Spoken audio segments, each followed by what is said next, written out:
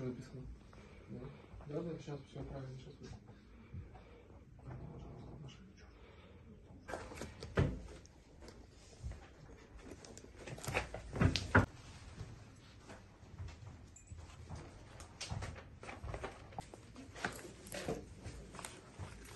Я приоткрою эту